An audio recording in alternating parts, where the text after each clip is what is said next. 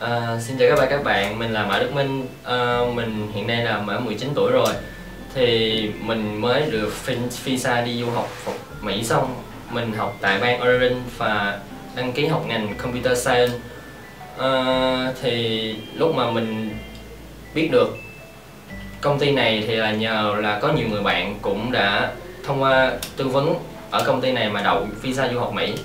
Nên mình cũng thử qua đây tư vấn thử coi và thấy học có vẻ ổn. Thì lúc mà học thì có gặp anh Khôi anh Khôi cũng giúp đỡ mình nhiều. Uhm, chỉ mình lên mạng search mà những thông tin mà cần thiết cho việc phỏng vấn của mình. Uhm, học được khoảng hai ba tháng thì mình đi phỏng vấn. Vô nó cũng không hỏi gì mình nhiều hỏi cũng ít. Hỏi mình học ngành gì ba má làm nghề gì học ở đâu là mình đậu rồi.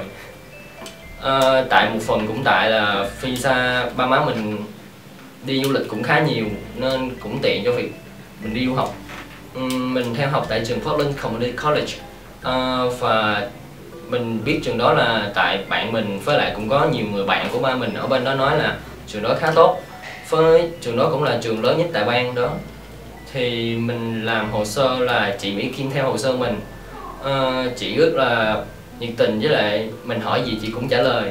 Với tư vấn mình rất đầy đủ thông tin giúp đỡ mình cũng nhiều. Thì theo mình thì tại thế mạnh của mình là ba má mình đi du lịch nhiều nên mình nghĩ là mình khuyên các bạn là đi du lịch nhiều nhất có thể. Tại nhiều khi người ta chỉ nhìn vào visa của bạn và cho bạn đậu thôi chứ không có hỏi gì về thông tin cá nhân của bạn. Uhm, về việc chuẩn bị hồ sơ thì công ty đã chuẩn bị đầy đủ hết cho mình rồi thì mình đâu cần lo gì nhiều về hồ sơ nữa. Hy vọng những thông tin mà mình chia sẻ cho các bạn sẽ giúp ích cho việc phỏng vấn về sau của các bạn.